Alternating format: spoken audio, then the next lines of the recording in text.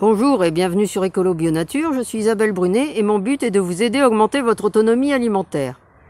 Alors aujourd'hui on va voir différentes variétés de pommiers.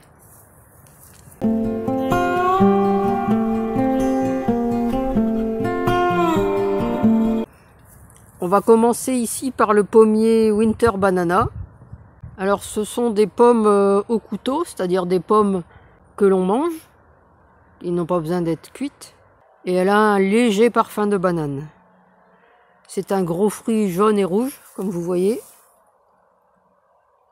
Alors elle se récolte en octobre et elle se conserve jusqu'en février.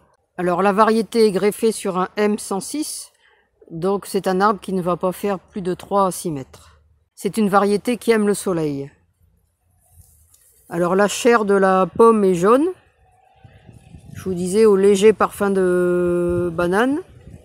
Elle est ferme, sucrée et acidulée. Ici, on a un pommier à pied étoilé. C'est une pomme à couteau, à cuire et à pâtisserie. Vous savez, c'est la pomme de la cantine, pomme de renette et pomme d'api. Alors c'est un arbre de vigueur moyenne. En plus là, il est greffé aussi sur un M106, donc il sera pas trop grand. C'est une pomme qui aime le soleil. Alors elle est aplatie en étoile. Elle reste petite. Il y en a une ici. Alors comme il n'y en a qu'une, j'ose pas trop y toucher. Alors quand elle sera mûre, elle sera rose et jaune. La chair est blanche, ferme et rafraîchissante. Elle la récolte, c'est vraiment en toute fin d'année. Et la conservation va jusqu'au mois de mai. Ici, on a un pommier col à puits, toujours greffé sur M106. Alors là, il doit être taillé dès que j'aurai enlevé les fruits. Alors c'est une pomme rouge, quand elle est mûre. L'intérieur est blanc. C'est une pomme au couteau et elle a un bon équilibre entre le sucre, entre le côté sucré et acide. Et la maturité c'est décembre-janvier. Elle est d'une très bonne rusticité et de longue conservation.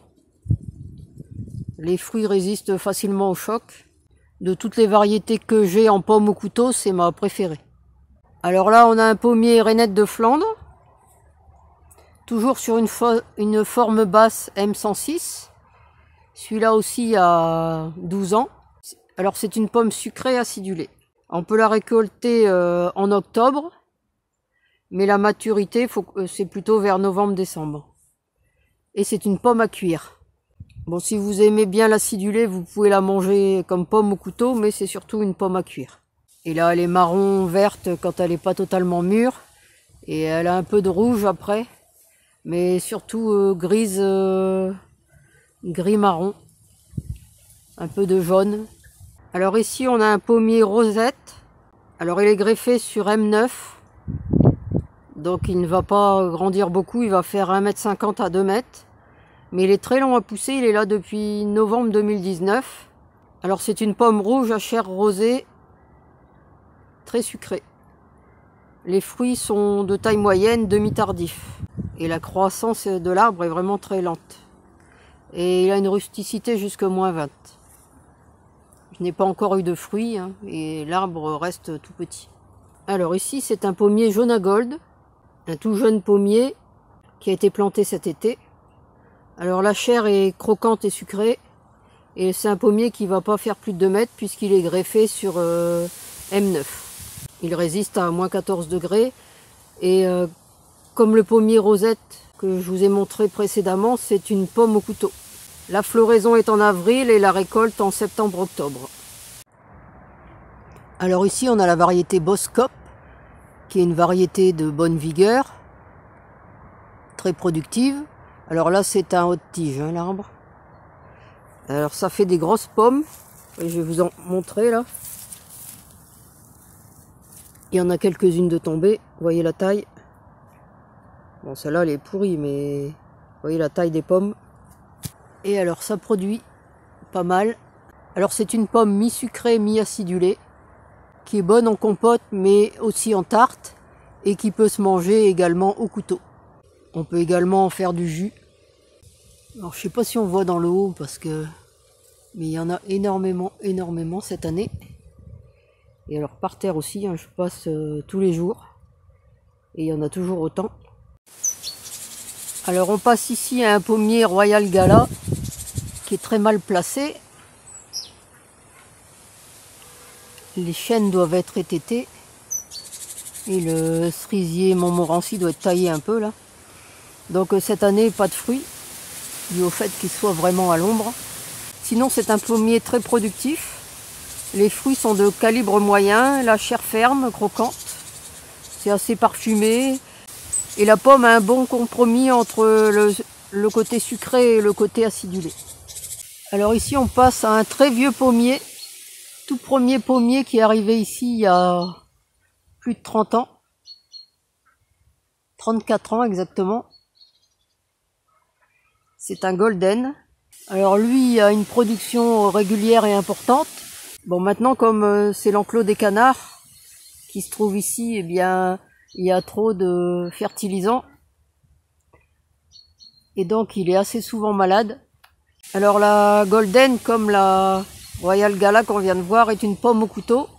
Alors les fruits sont jaunes d'or, unis. La chair est blanche, euh, tirant un peu sur le jaune. Elle est fine et croquante. La récolte a lieu mi-septembre et la conservation est possible jusqu'en février. Même si à la fin elle développe un peu un goût terreux. Alors on va terminer ici avec les deux derniers pommiers. Ici le pommier grand-mère. Alors qu'il y a une seule pomme cette année. Alors c'est une pomme euh, à couteau ou à cuire. Là, c'est un arbre greffé sur M106 qui date de novembre 2016. Alors là, le fruit est encore vert et puis il est un peu mal formé dans le bas. Mais sinon, ça fait des fruits, euh, des gros fruits, jaunes striés de rouge. La chair est blanche et croquante, plutôt juteuse et parfumée. Et les fruits se conservent jusqu'en mars. C'est un bon pollinisateur également. C'est une variété ancienne.